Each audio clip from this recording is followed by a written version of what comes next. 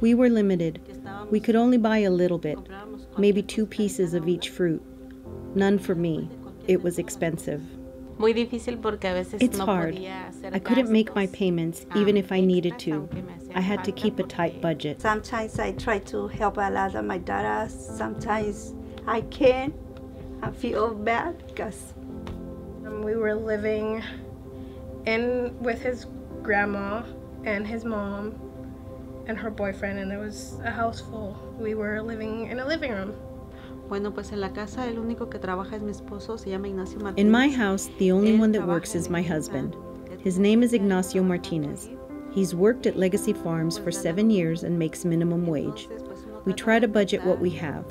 As we move forward, we pay for the things we need so that we'll have enough food to eat. Me alcanzaba menos. Before the program, I had to borrow money to pay my bills. I had to buy my daughter medicine. por lo mismo It was que le tenía que expensive. We had to pay out of pocket. We stopped eating when we bought her medicine. My kids are my worry. They are my worry.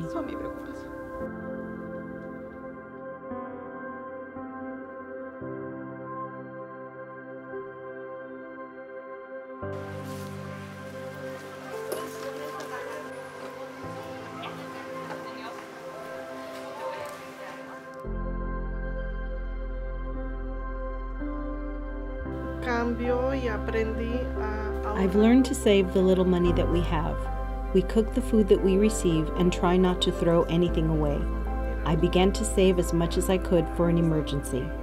Aprendí a que I've learned not to buy things I don't need and eliminate certain expenses in order to have an emergency fund.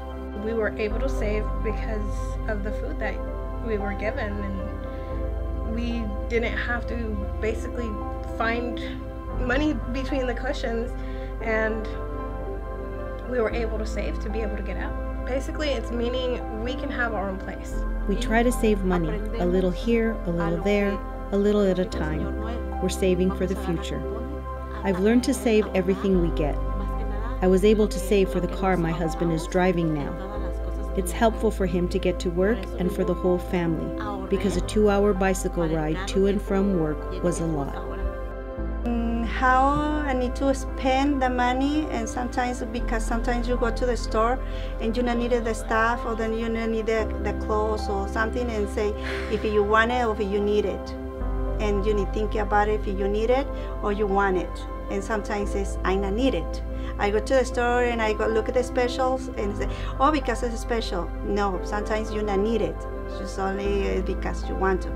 That's why I learned about that. Am, desde que ella empezó a venir a las My clases, seven year old daughter began coming to class with me.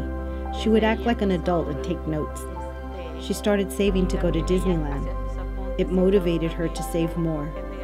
Right now, she has $28 saved.